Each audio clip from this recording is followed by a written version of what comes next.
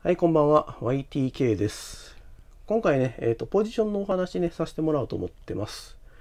で、前回の動画でもね、紹介したんですけども、この上にね、今、あの、アクションカメラ乗っけてるんですよね。この、えっ、と、コラムのヘッドの上にね。で、あのーもともとね、このコラムスペーサーが 10mm が3つ下にあって、で、上にステムが乗ってたんですけども、まあこれを載せるにあたってね、ちょっとあの、下げたんですよ、なんとなく。あの、下にある方がね、かっこいいっていう話よく聞いたんでね、ちょっと自分も真似して、ちょっとあの、ステム下げてみたんですよね。で、今こういう風な状況にしてますけど、あの、下げた時一気に下げたんですよ。下にね、2ミリだけ入れて、で、あとスペーサー全部上に上げたんですよね。それでまあ、あの、やったんですけども、あの当然ねもともと30ミリあったのをガッと下げたんでね。であのサドルとの落差がすごい非常に大きくなったんであのサドルの方を、えー10ミリ下げました。こっちを30ミリ下げてでサドルをね、まあ、10ミリ下げてでちょっと落差をね縮めたんですよ。でさ本当ならこっちね 30mm 下げてるんでサドルも 30mm 下げるんが、ね、当たり前なんですけどもあの足の長さ的にねもうこれ以上下げたくなかったんですよね。だからまあ一応気持ち程度にねあの 10mm だけ下げたんですけども。でまああのそのポジションを変える以前はあのものすごくお尻痛かったんですよね。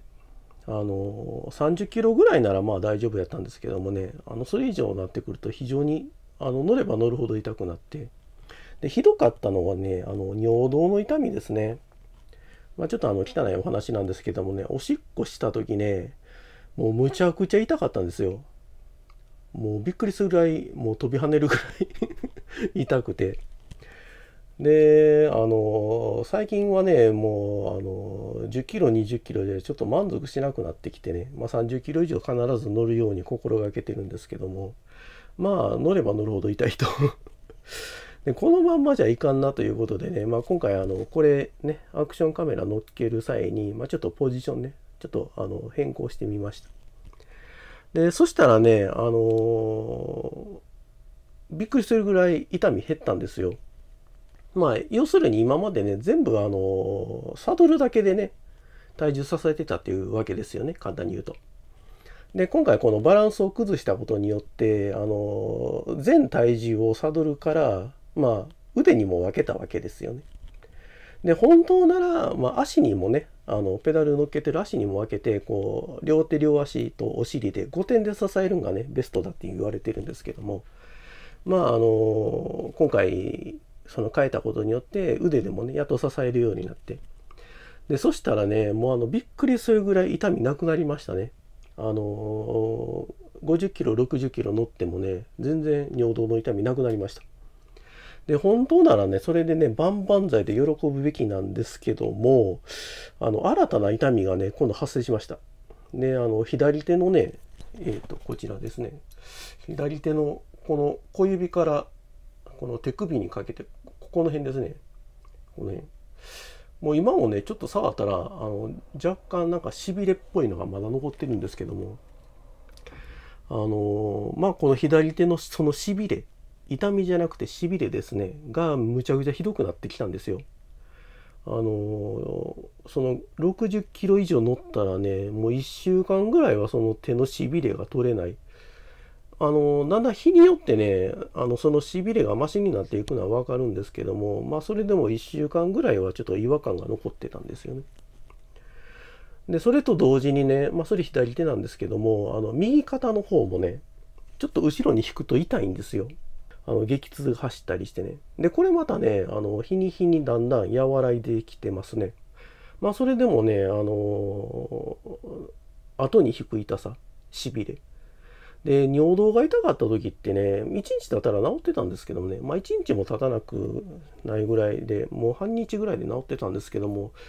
まあその手のしびれがひどいと。肩の痛みもひどいと、まあ、要するに今までね全部お尻で支えてた痛みを今度腕で腕だけで支えてるんじゃないかなと。いうねあのちょっと今そういうポジションになっちゃってるような感じがしたんで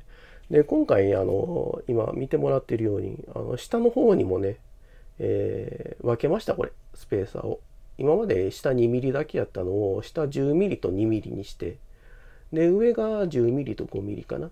にしました。でサドルの方はそのまんまにしてます。でまだこの状態で1回も乗ってないんですけどもまああの今度乗ってねあのその腕の痛みとかあの、ね、お尻の痛みとかどうなるんかなっていうのをまあちょっとあの調べようかなと。で一応ねサドルの方もね穴開きサドルとかに変えたんですけどもねそれだけじゃあの尿道の痛み取れなかったんでねまあまあちょっと今こんな感じで試行錯誤してる最中です。でまた週末の方でね、あのこの今の状態で乗るつもりなんでまた結果の方ね動画作りたいなと思っております。で、本日の動画は以上となります。えー、ご視聴ありがとうございました。